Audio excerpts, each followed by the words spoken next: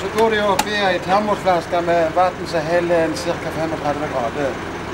Å ja. Og de tåler det å gå rett ifra det ka- kalde til det varme? Ja, de gjør faktisk det, men du kan, få- hvis du vil fotografere oppi her, her står de oppi. Å ja, det Ja vel. Her er det navn på dem, så med jeg finner de igjen på, på hver. Ja, her har du gjort klar de doser.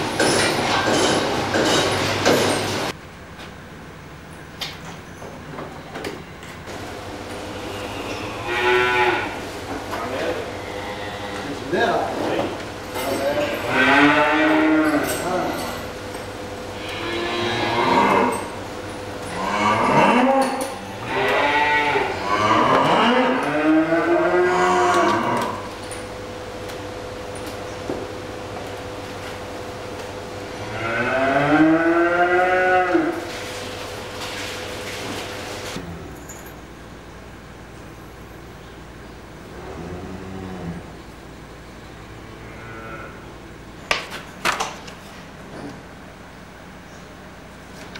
det du skanner nå, da? Det er prosenten. Den eh,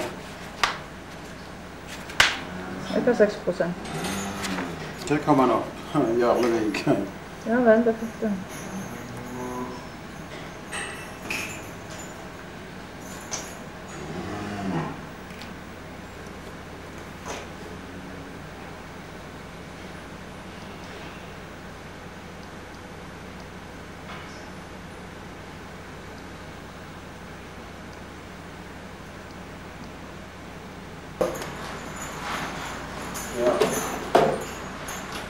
Der skanner jeg inn. Der får jeg produsenten, altså gangaren her. an. Ja.